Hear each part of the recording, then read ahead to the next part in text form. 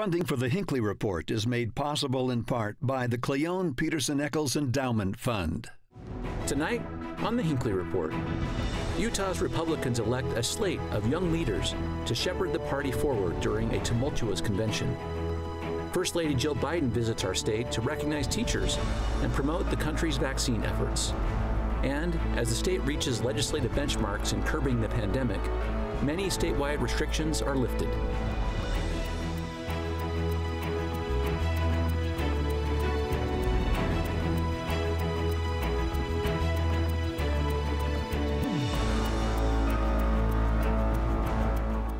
Good evening, and welcome to the Hinckley Report. I'm Jason Perry, director of the Hinckley Institute of Politics.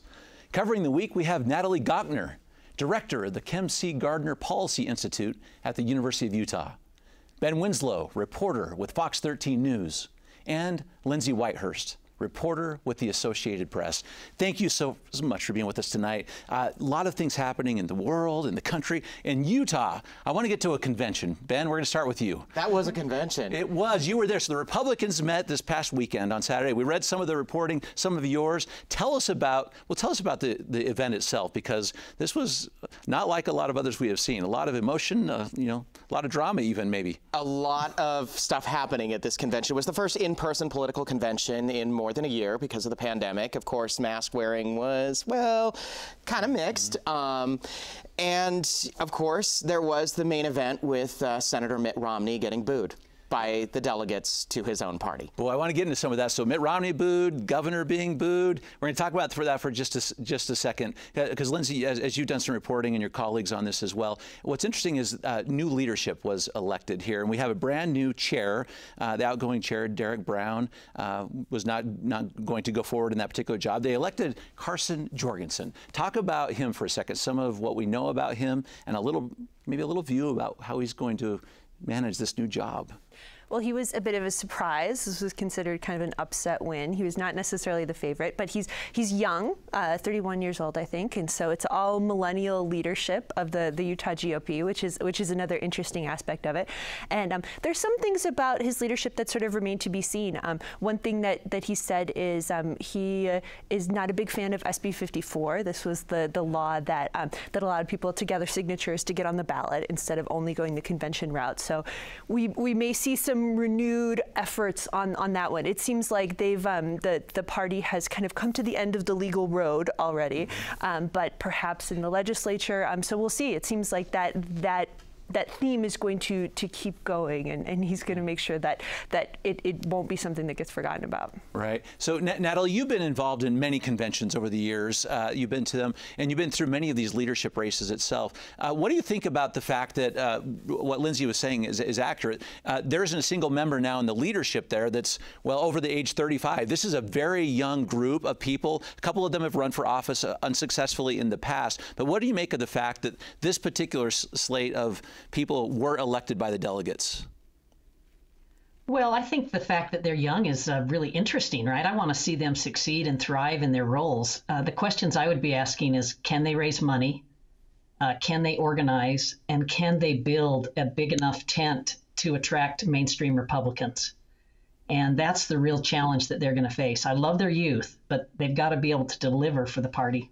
Yeah, so, so, Natalie, to that to that great point, as Derek Brown was going out, he was talking about the person that they should select, that the party should select to lead it forward. And there are a couple key themes of what you just said in his very quote. I want to read it and just kind of get your comment about it from uh, Derek Brown because he was kind of given a warning uh, based on what you just said as well. This is what he said: "The luxury of a supermajority." Can also allow a party to be to be sloppy and unfocused and mm-hmm. still win elections. My concern is we may not have that luxury in the next 5 to 10 years. And whether that is the case, that is the case has everything to do with the party remaining strong and as you said funded. Mhm. Well, and I would say that, you know, the core tenets of the Republican Party, uh, limited government, fiscal restraint, uh, free enterprise, free trade, balanced federalism, we're not talking about those. And that's a real problem moving forward because Republicans that believe in a conservative ideology are struggling with where they fit. Mm-hmm. So we saw that, Ben, what, what, you started talking about this on the program here. So this supermajority we have in the state of Utah in the Republican Party, many may say, you know, you have so many people here, you hold all these statewide positions, you know, they're just going to be, they're going to stay in power. And Derek is maybe uh, signaling you can't really take that for granted that was a theme that was brought up by the speakers uh, from a leadership on down, all at the convention, which was they were warning that states around Utah are flipping blue. And there seemed to be a real paranoia that this could happen here.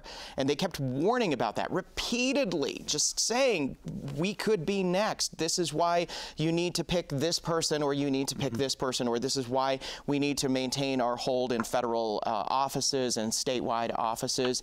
You do wonder with the shifting demographics in Utah if we're starting to go a little purple, even though we are still very red. Mm-hmm. That is true. What about that funding part right there? Because if, if some of that core leaves, you know, in your supermajority, you have one end of the spectrum that is all in on a couple of these candidates, but you have the other end of the spectrum that is just not with these delegates anymore. What happens to that funding and their ability to really uh, financially help the candidates going forward? Well, we elected as Republican Party leadership a group of millennials, but do they have money? And you need money to win elections, and you need money to pay for the signs, the advertisements, all of those things.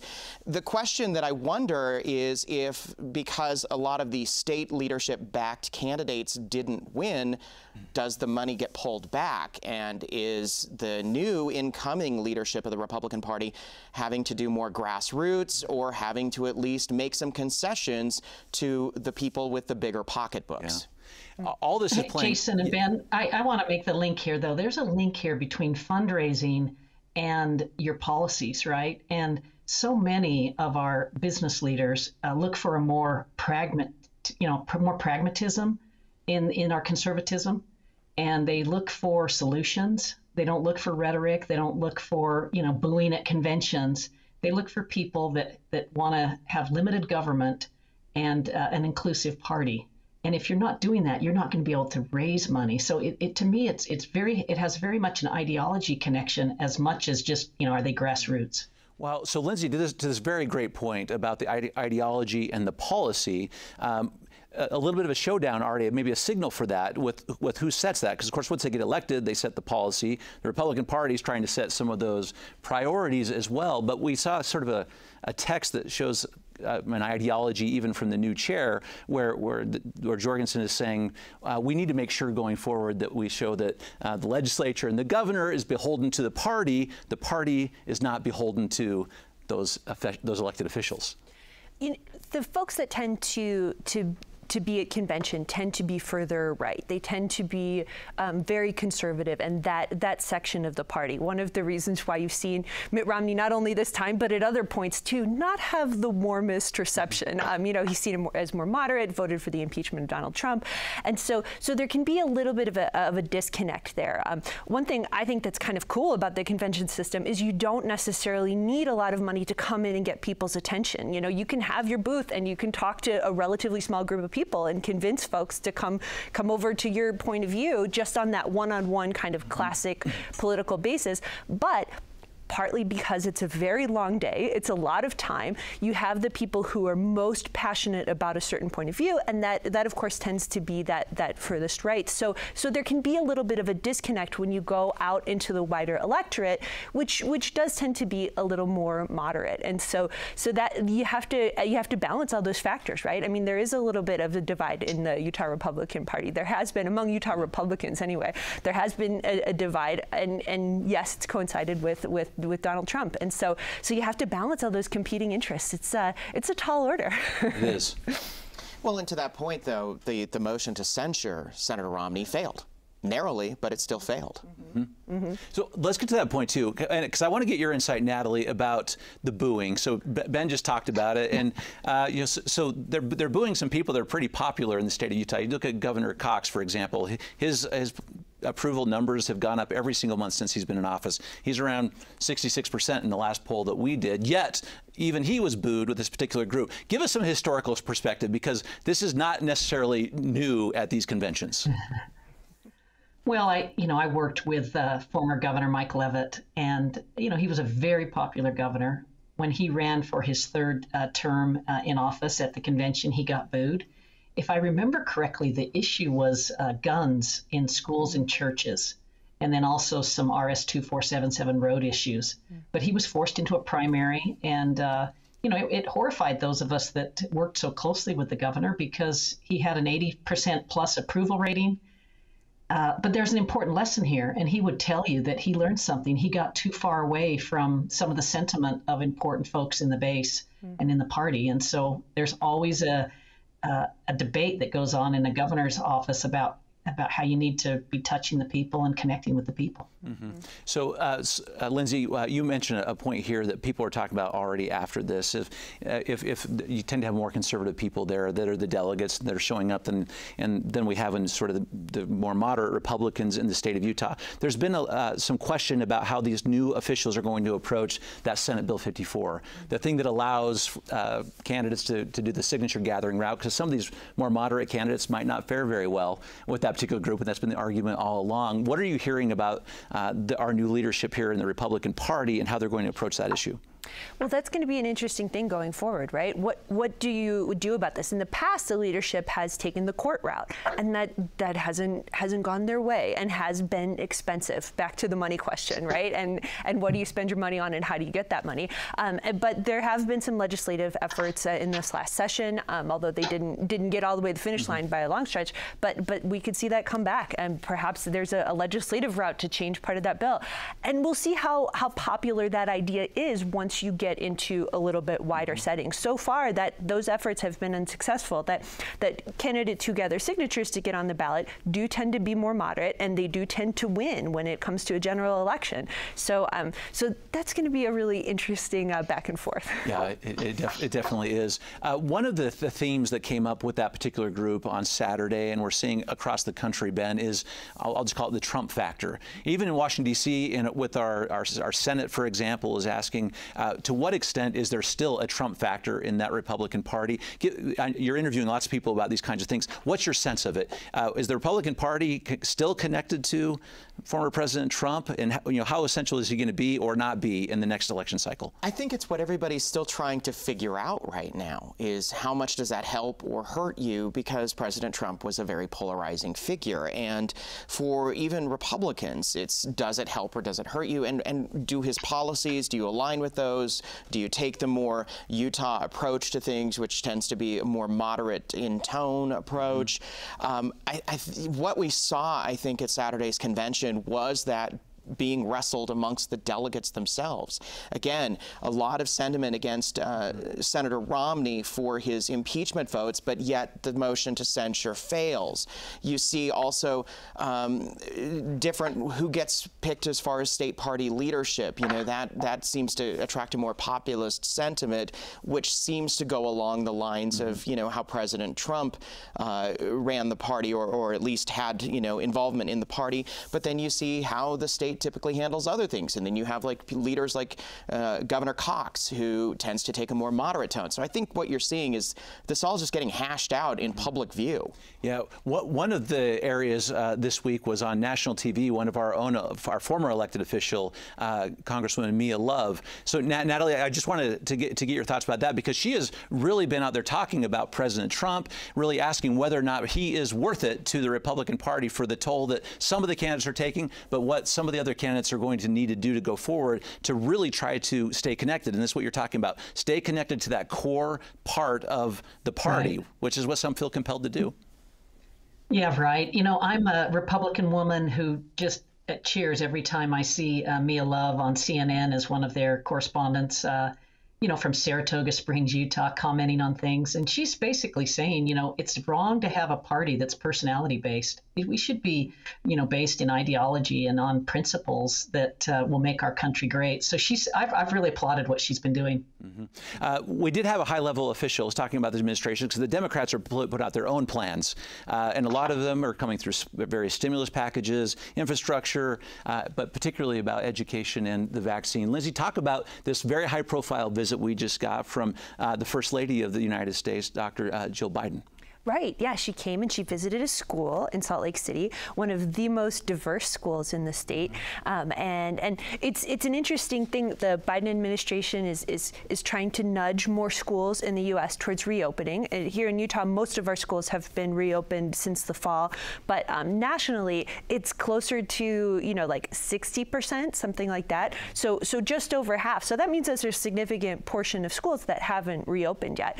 And um, of course, you have to do that safely safely and keep everybody safe in your school environment. But we also know there there are some some bad outcomes for kids if, if things stay online. That doesn't work for every kid, and so there can be some real challenges there too. So so in that and, and we have some good public health data that indicates if these precautions are taken at school, school can be a safe place for kids, you know, relatively speaking in this in this world that we're in right now.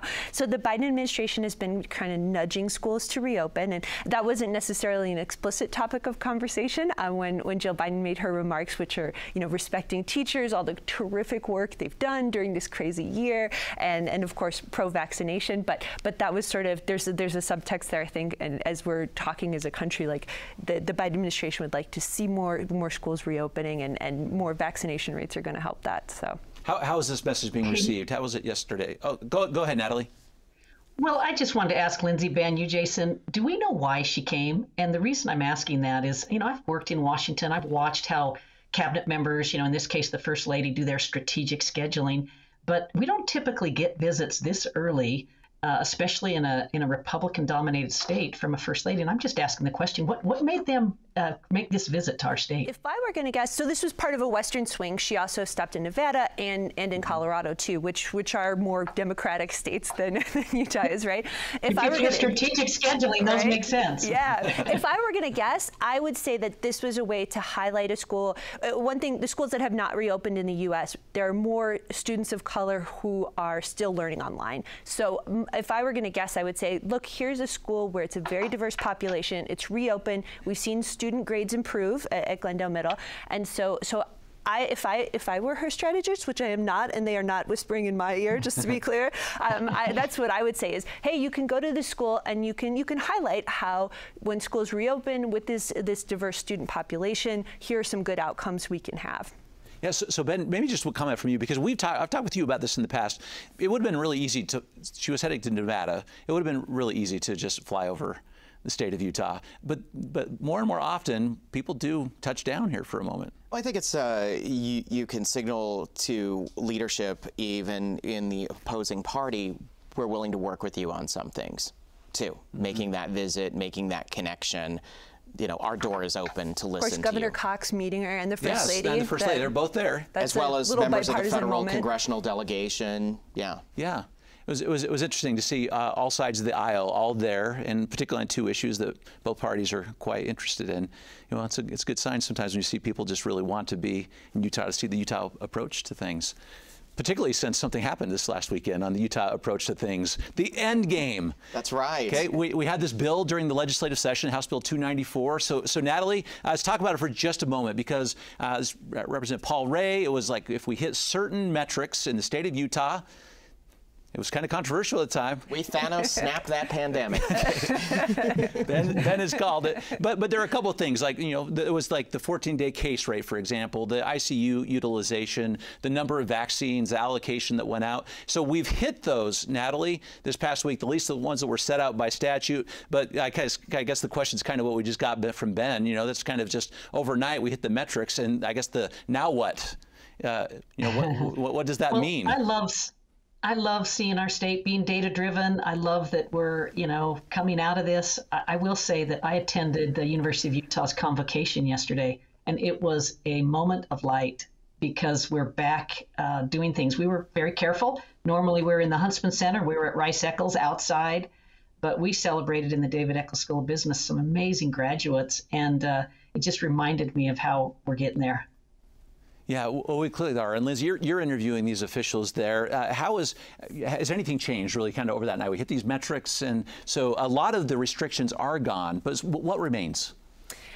A few things. There is, of course, a number of private businesses that are still requiring masks, and, and there are a few other places. Uh, schools, of course, are the big one, and, and that that has been controversial among a certain to set of people. Um, there, there are some some very vocal folks who, who are very unhappy about that, including at the Granite uh, School Board meeting uh, this past week. Yeah, talk, so, so, for people who don't know, the the meeting had to adjourn early. Police were involved. It was uh, it was a a pandemonium kind of a scene from from what I understand. And uh, and and so, but the reason why, of course, that that schools, uh, the governor said we are keeping this mask mandate through the end of the school year, and the reason why they're doing this because um, a lot of kids can't get vaccines yet. It's 16 and up, so some high school kids can, and hopefully soon it'll be opened up to uh, to 12 and up. So so all that to the good, but right now a lot of kids can't get that vaccine, and and the studies have shown that when you wear the mask, when you do the distancing, that um, that transmission rates are very low, and we we want kids to be in school. You know, we, we want them to um, to be learning in school, and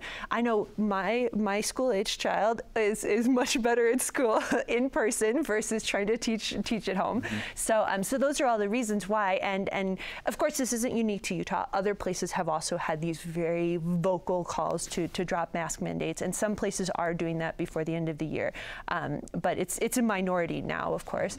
Um, in the fall, uh, it sounds like things will be different. That there won't be a mask mandate for schools anymore, and hopefully by then there'll be a, a a decent portion of, of vaccination rates among those those kids who are able to get them. Yeah, so just a, just a moment on that, Ben, because I, I, know you've talked to people about it as well. It was a recent poll from the, the Kaiser Family Foundation. People are really trying to understand, will people get their kids vaccinated? You know, what, will it be right at the beginning? Will they wait and see? And this number said 29% of the parents, this is across the country, say that they will vaccinate their children right away. 32% of them said that they would wait to see what happens.